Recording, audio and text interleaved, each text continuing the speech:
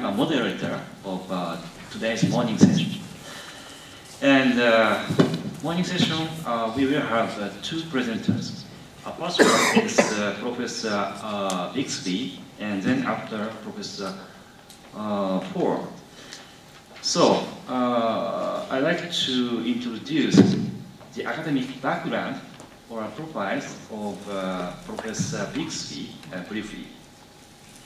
Uh, Dr. Robert Bixby has uh, a PhD in operations research from Cornell University. He has held academic positions at first at the University of Kentucky, then Northwestern University, and Rice University. He is now Noah Harding Professor Emeritus of Computational and Applied Mathematics at Rice University, and also Research Professor of Management in Rice Jones School of Management. Dr. Bixby has published over 50 journal articles and is an acknowledged, acknowledged expert on the computational aspect of linear and integer program, programming.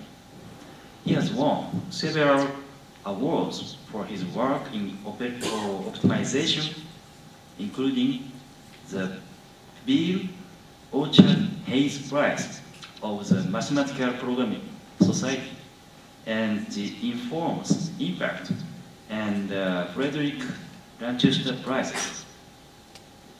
In 1997, he was elected to the National Academic uh, National Academy of Engineers sorry National Academy of Engineering for his contributions to the theory and practice of optimization.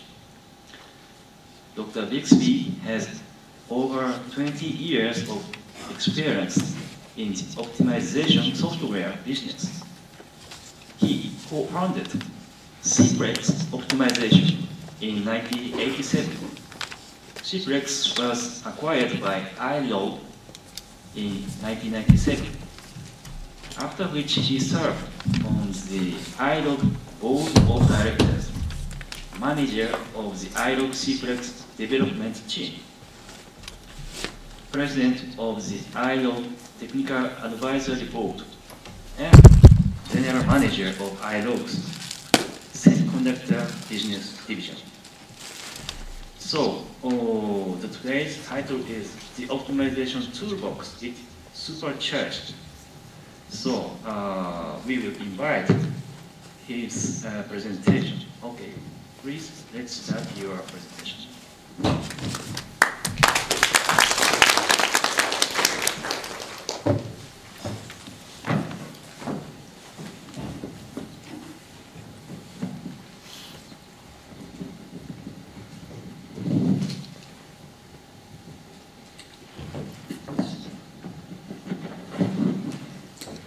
So can you hear me? Yes. Boy, this is a big room. And people are spread all over the place. Uh, let's see. Yes, that seems to work. Okay. So, um, I'd like to thank the organizers for the invitation to um, speak to you this morning. Um, And I hope I've sufficiently recovered from uh, jet lag, that what I say will make sense. Um, The title of the uh, talk is the Optimization Toolbox. It's supercharged. I think all of you will be aware that among the most important mathematical techniques available for applications in logistics are linear and integer programming. You may not be aware how much, really the remarkable change in, in the last few years in the capabilities of these techniques to solve real-world problems. And that's really the theme of, of my talk. If, if it's been just five to six years since you've looked at this subject, you may have no idea what is really capable today.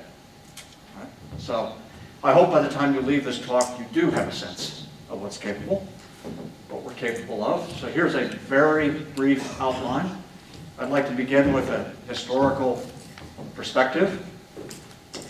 And then I'd like to talk about where we are today, beginning with linear programming, which of course is a very well-known technique and is the foundation for much of what we do. But most of the real applications actually use mixed integer programming, and that will be the subsequent talk, topic that I talk about. And I'd like to conclude by giving you some case studies to illustrate some of the things that can be done today with these technologies. So here's the beginning of my um, short history of this subject. Linear programming for most of us was introduced by George Dantzig in 1947, right after the end of World War II. And you can argue that the introduction of linear programming was in large part motivated by logistics problems that were recognized in the military around that period of time. So at the very beginnings of this subject, logistics played, if you will, a key role. Another key aspect of, of, what Dantzig did was that in contrast to many of the economists of his day, who viewed linear programming as a subjective tool for understanding macroeconomic phenomena, Dantzig had the, actually the idea that you could formulate real models and solve them and use the answer to make decisions. And that was perhaps a new thing. Consistent with that vision, he invented, proposed an algorithm for solving linear programming problems known as the simplex method or what he actually introduced is commonly called the primal simplex algorithm he introduced this back in 1947 with a vision that it could be used, and this is before computers were actually available. Really rem involved remarkable vision, and it's also remarkable that this method that was invented so long ago, as you will see, is still a very useful, viable method for solving very large real-world problems. The first computer codes for linear programming, well, the first problem, actually, that was ever solved, as far as I know, using the simplex algorithm was solved by an economist together with a team of graduate students. There was a problem with nine constraints and 77 variables, and it took them the equivalent of one person working for 120 days, roughly four months, using hand calculators. Four months to solve a linear programming problem with nine constraints and 77 variables. So that was a, uh, a, uh, a very small beginning. The first computer codes code was written at the National Bureau of Standards in the US in 1951. By 1960, linear programming had started to become commercially viable. It was being used by, principally by oil companies to do blending models in refineries. By the 1970s, mixed integer programming started to become commercially viable. And two of the big drivers for that were these two computer codes, MPSX 370, developed by IBM in the US, and the Umpire code developed by a group in England that for the first time really made it possible to solve some interesting real-world um, mixed integer programming problems. This brings us then into the decade of the 70s. The subjects of linear programming and then integer programming are about 20 years old at this point. Uh, there was a tremendous amount of interest in these subjects in the 1970s. Uh, interest in large-scale planning models, many of them economic models for countries and for the whole world. This became a very popular kind of subject to look at. And funding Lots of research funding was available for this work. However, significant difficulties began to emerge. Building an application, a real application to solve a real problem at that point was very expensive and very risky. It could take three to four years of development. And then the developers and application owners had to be multifaceted experts. Deploying an application was virtually impossible. So the person who built the application had to be a computer expert, they had to be a modeling expert, they had to be a mathematics expert. They owned the application, they ran the application. And the idea that you could take an application and make it available to users who weren't the developers was out of the question. Right? As a result, and, and the technology wasn't ready. Linear programs were still very hard to solve. People were solving problems with maybe a thousand variables, a thousand constraints. Uh, and mixed integer programming, in practice, even though in theory it sounded very good, in practice it was a complete disaster. And this led to a great deal of disillusionment. Led basically to this view that there was this subject, mixed integer programming, which is the thing that we use so much today, it was a nice mathematical tool, but it was a toy. You could formulate problems, but in reality you couldn't really solve any such problems. And that disillusionment, actually much of it still persi persists today from people who were, in my generation, trained around this period of time, who still view this technology as, you know, it's nice, but you can't solve real problems. And that simply could not be further from the truth. If you move into the decade of the 80s, around 19, just a, you know, a little personal perspective, around 1985 or so is when I got interested in myself in linear and integer programming computation. In the mid, whoops, in the mid 1980s, if you went to a, an Operations Research Society meeting in the United States and talked to people, there was literally no interest in linear and integer programming. Everybody thought the subject was finished. That you couldn't do any better than these MPS X370 and MPS 3 codes that were the mainframe codes that everybody was using at that point in time. There just was no interest in the subject. And then several important things or developments occurred in the 1980s. First, at the beginning of the 1980s, the IBM PC was introduced, which, of course, the PCs and Apple computers had existed before that, but it was the IBM PC that really brought desktop computing to industry for the first time. That's the beginning of the 80s. Relational databases were developed.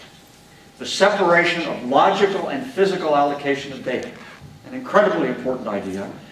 And all of this somehow led to the development of ERP systems, which started to mean data became generally available. And optimization is completely dependent on the availability of data. Right? It requires huge amounts of data. Uh, next, the first algebraic modeling languages were actually developed, which started to make it much, much easier to represent your mathematical programming models. The very first of those was GAMS, and of course Bob Fourer is, we'll talk about what might be viewed as the second or third generation of modeling languages.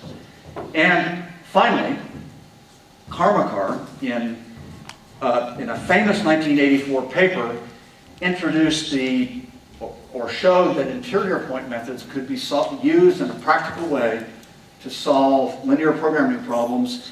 And this method had a, he showed that it had a polynomial time bound. Now, one of the interesting aspects of this subject is that these methods have, in fact, been demonstrated to work in practice, and they are, in fact, used, and they, they do influence the subject today. But in practice, actually, the, the, simplex method, in spite of this, is still the dominant method for solving real-world linear programming problems. That said, this paper simply brought the subject back to life. There was all of a sudden an enormous amount of interest in this whole subject. Within a period of a few years, there were written over, by somebody's count, over 2,000 papers on linear programming in a subject that had a few years before that well, right about that time had been considered to be dead. So this led to a revolution, and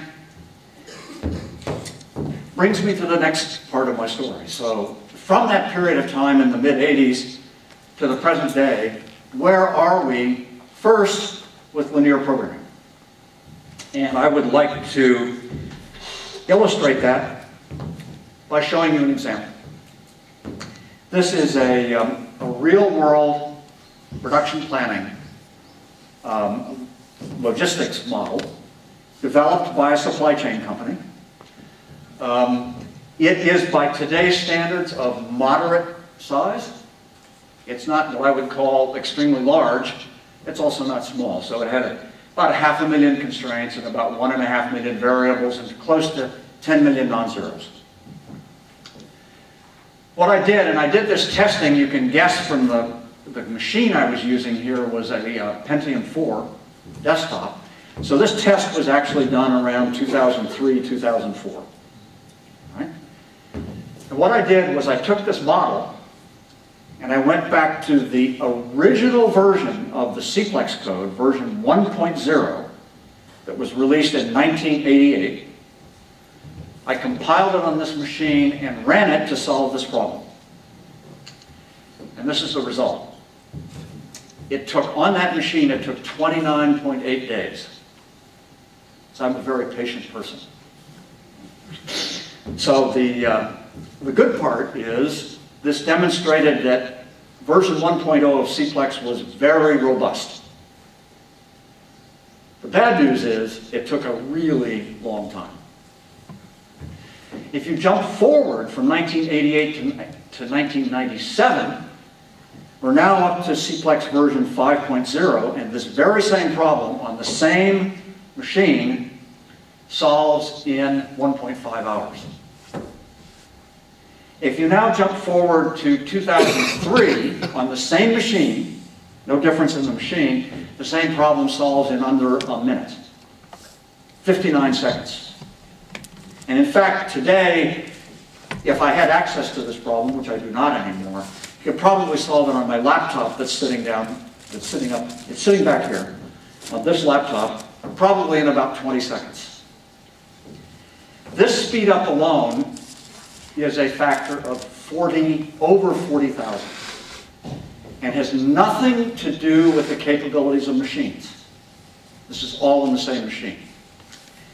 And it's also interest, interesting, those of you who know something about the algorithms and so forth may be wondering, this is actually, uh, I think this is the right thing to do, yeah. These are actually all just improved implementations of the primal simplex algorithm, Dantzig's original algorithm. It got faster because we got smarter, because the data structures got better, because the mathematics got better for this method. So, this is just one problem. You can ask yourself the question, okay, what, what was true then for linear programs in general? How much progress had we made? And I wrote a paper about this in um, 2002, published in 2002, and I updated the results in 2004.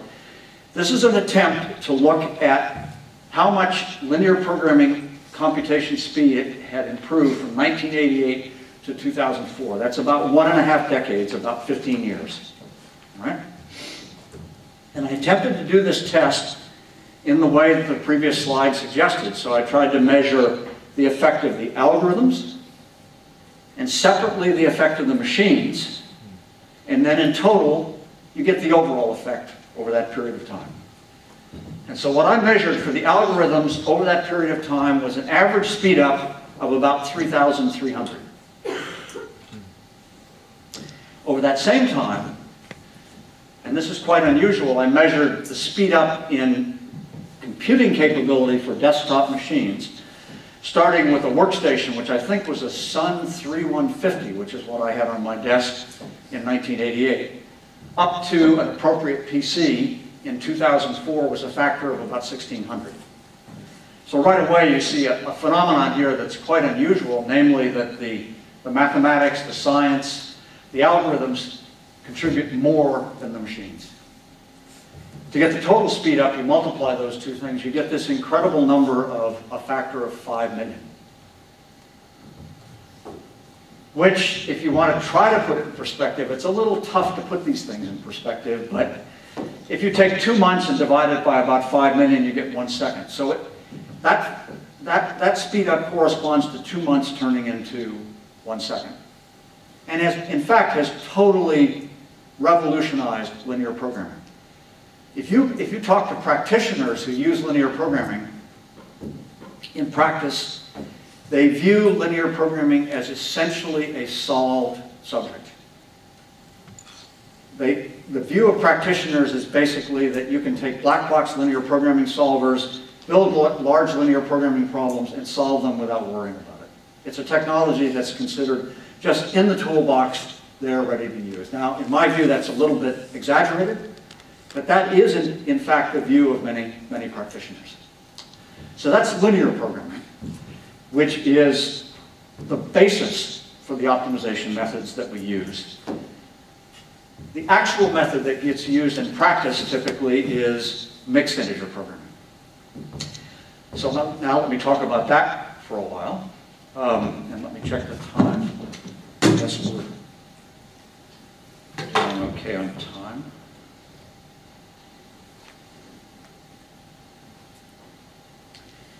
You know, these new, these new, um, th these kind of microphones are a, um, especially for me, are a, what I would call a godsend.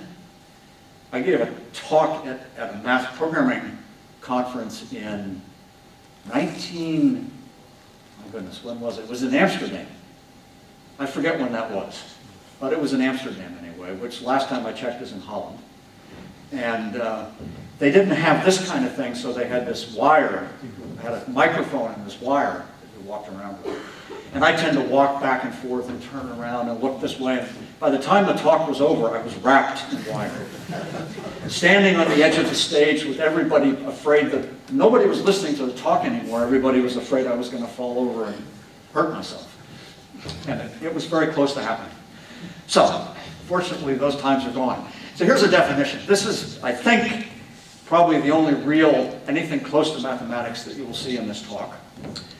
I thought I would just, for purposes of setting the context, that I would um, put up a definition of what a mixed integer programming problem is. It's an optimization problem of this form.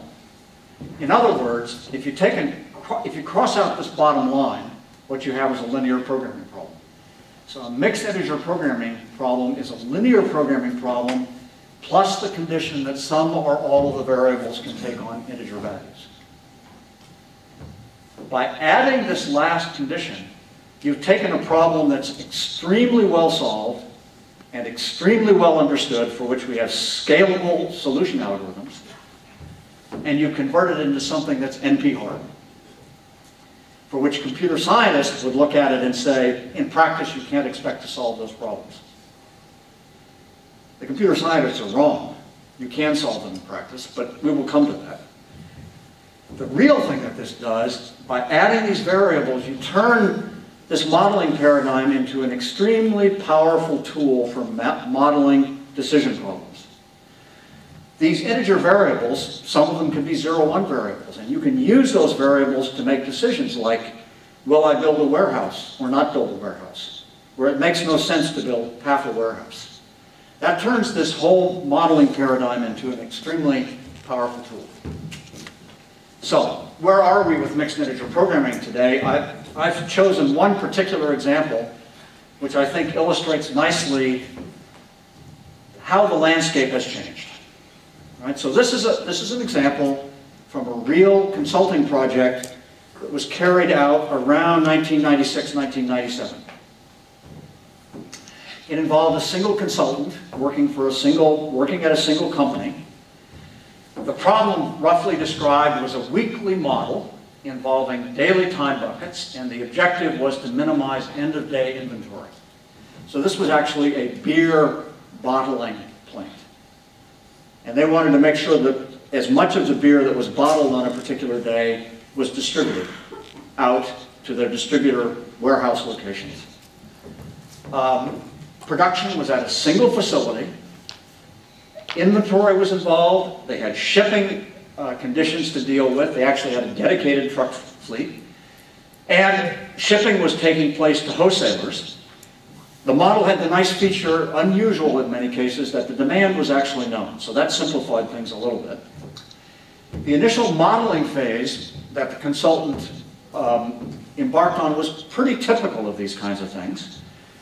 Uh, he started out with a very simple prototype that had the main constraints of the problem, and then he added the complicating constraints, which involved, fundamentally, there were two categories of complicating constraints, production run grouping requirements and so-called minimum truck constraints. Now, I really can't say too much about the details of these minimum truck constraints. It had something to do with the fact that it was a dedicated truck fleet, and they had union conditions that they had to deal with and so forth with the drivers that made it very complicated. The production run grouping requirement corresponded to the idea that once you started bottling things with a certain size bottle, you wanted to make sure you used that same size bottle for as long as possible because there was setup cost when you changed to a different size bottle. So those two things added complexity, and the result was a sort of a standard result. Namely, you build a model, it has everything in it that you want, and it's hopeless. Right? This model, they couldn't even get, they couldn't solve it to optimality, but they couldn't even get integer feasible solutions to the problem. So what they did is, is what is often done in practice. They developed a decomposition approach based on a very practical, simple idea. This was a real company. The company was running. It was doing something to manage its production and inventory and so forth, so they just went and talked to the people who were doing that. And what they discovered was a very simple thing, namely that the actual schedulers would make certain high-level decisions which amounted to fixing certain variables. And then once those high-level decisions had been made, then they would, from that, make the more detailed decisions. So what the consultant did was simply to mirror that procedure by developing a heuristic that, that copied essentially what the real schedulers were doing and fixed some of the variables, reducing the size of the integer problem, and then attempted to solve that smaller mixed integer programming problem. So the result you will see is on the next page here. They were using Cplex, excuse me, Cplex 5.0 at that at this time. It was 90, probably 94, 95 actually. I may, may have my years slightly wrong here. And what resulted was that, well, you see a solution time here that's about one hour with Cplex 5.0 to solve this particular fixed problem. Now, the machine here that I used was a machine that's a bit faster than the one they were using. The actual solution times they had were more like 12 hours. But that was acceptable. And the application got deployed. One interesting observation is that if you go back and if you actually try to solve this fixed model with Cplex 4.0, it appears to be impossible. Cplex 4.0 and earlier versions can't solve this problem at all. Okay, moving forward, suppose we take that same model and stick it into a much more recent version of Cplex. In this case, I stuck it into version 11. I would have, um, well, a few years ago I started a new company called